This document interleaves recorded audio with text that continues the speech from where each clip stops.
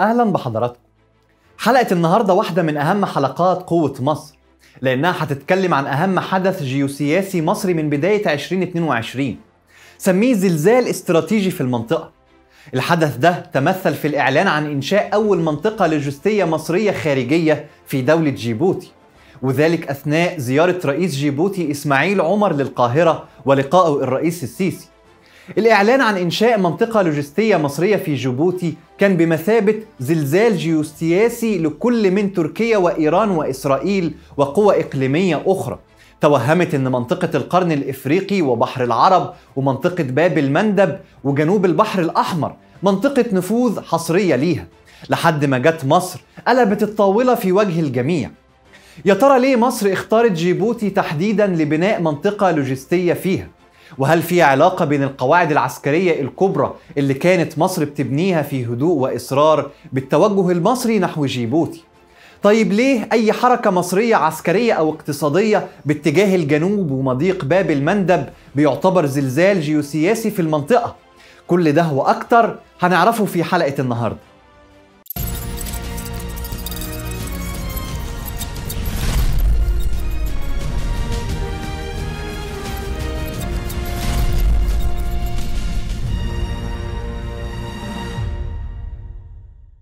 في 7 فبراير استقبل الرئيس السيسي نظيره الجيبوتي إسماعيل عمر وعقد الرئيسان جولة مباحثات عن قضايا أمن القرن الإفريقي والبحر الأحمر وقضية السد الإثيوبي.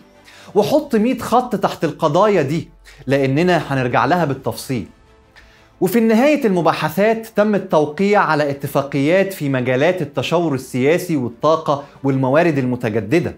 والأهم تم الإعلان عن إنشاء المنطقة اللوجستية المصرية في جيبوتي. وده معناه ببساطة أول حضور اقتصادي وعسكري واستخباراتي مصري دائم في جيبوتي. طيب قبل ما نوضح تفاصيل المنطقة اللوجستية المصرية دي خلينا بس نسأل كم سؤال. إيه أكتر دولة مستقرة في منطقة القرن الإفريقي وبتشرف على مدخل مضيق باب المندب؟ وإيه الدولة اللي بتعتبر شريان حياة بالنسبة لإثيوبيا؟ وإيه أكتر دولة عندها استقرار أمني كبير. الإجابة المشتركة على كل الأسئلة دي هي جيبوتي. أيوه جيبوتي. طيب هل علشان كده بس مصر اختارت جيبوتي علشان تتمركز فيها؟ لا طبعا. فرغم صغر مساحة جيبوتي وتواضع إمكانياتها ومواردها إلا أن موقعها الاستراتيجي بيجعلها بالنسبة للقوى الإقليمية والدولية بمثابة نقطة ارتكاز عسكرية مثالية للأساطيل ووحدات القوات الخاصة ومحطات الاستخبارات والمراقبة والإنذار المبكر. لأنها بتشرف على مضيق باب المندب وبتعتبر البوابة الجنوبية للبحر الأحمر يعني اللي بيتمركز عند جيبوتي هيكون كاشف المنطقة من بحر العرب وخليج عدن لحد كامل البحر الأحمر.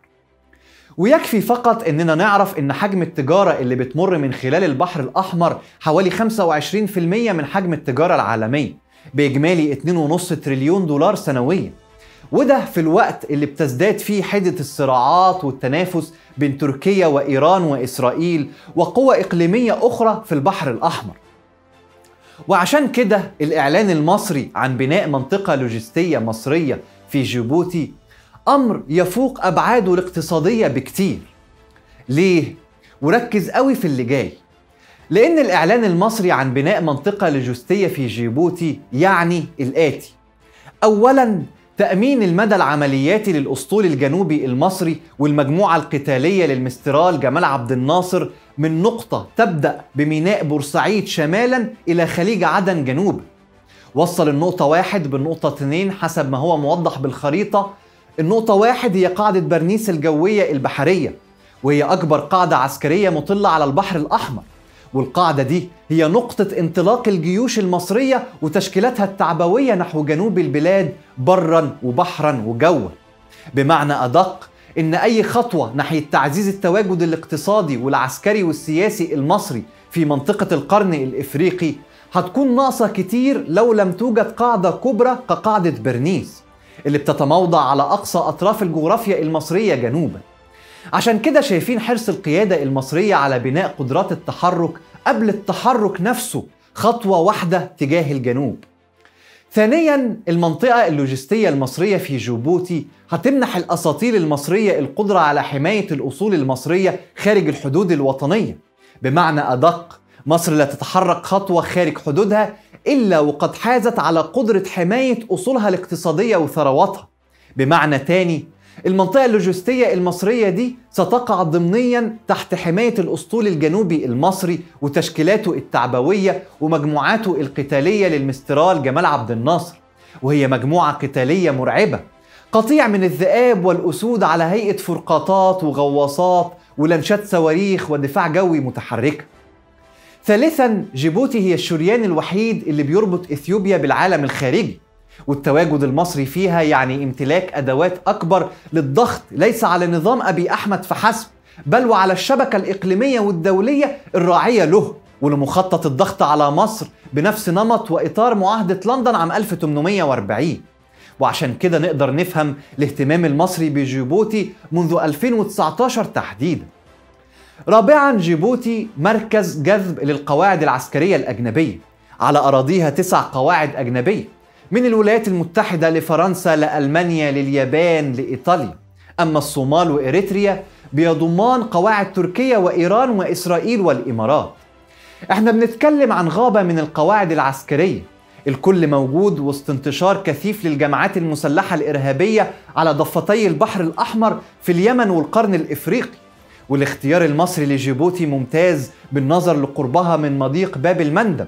مش زي تركيا اللي اختارت الصومال عشان تتمركز فيها.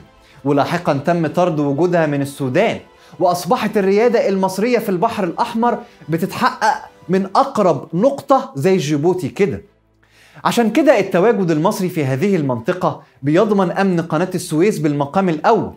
وعشان كده نقدر نفهم سر وجود لوحة تعويم السفينة إيفر جيفن في قاعة المؤتمر الصحفي مع رئيس جيبوتي في القاهرة. وعلى الرغم من عدم تجرؤ إيران ووكلائها على المساس بأمن قوافل التجارة المتجهة من وإلى قناة السويس إلا أن الحضور المصري في جيبوتي يؤشر لمزاولة مصر لأدوات رئيسية في الفترة المقبلة في البحر الأحمر. أدوار هتكون بالأساس تعبير عن اتساع نفوذ القاهرة. وللمفارقة من صاغ هذه الأدوار هي دبلوماسية الرئاسة المصرية من بعد عقود من الجمود والانكفاء. في النهاية معركة البناء في مصر قايمة على رؤية علمية مش مجرد تحركات عبثية، لا كل خطوة مدروسة كويس علشان كده بنشوف في مصر عملية بناء ودفاع وهجوم في منتهى النظامية في نفس الوقت. يعني تأمل الترتيب ده كويس. مصر بتجيب حاملة مروحيات قادرة على نقل تشكيلات قتالية ومدرعة لخارج الحدود في 2016 وفي يناير 17 مصر بتفتتح مقر قيادة الأسطول الجنوبي. وفي 2020 مصر بتفتتح قاعدة برنيس البحرية الجوية. وفي فبراير 22 مصر بتعلن عن بناء منطقة لوجستية خاصة بيها في جيبوتي. يعني حضور مصري اقتصادي واستخباراتي وعسكري خارج الحدود. وفي منطقة من أهم مناطق الاختناقات المرورية في العالم. شايف الترتيب ماشي إزاي؟ هي دي مصر في كل قضية بتنخرط فيها. عشان كده مسؤوليتك كمواطن إنك ما تنسقش ابدا أمام الحملات الإعلامية المغرضة اللي بنتعرض ليها وإنك تتأمل الصورة الحقيقية. ومش هتاخد منك دقايق للوصول للحقيقة. حقيقة إن مصر بتصنع التاريخ من جديد. حفظ الله مصر وجعلها كما تستحق. أمة عظمى بين الأمم.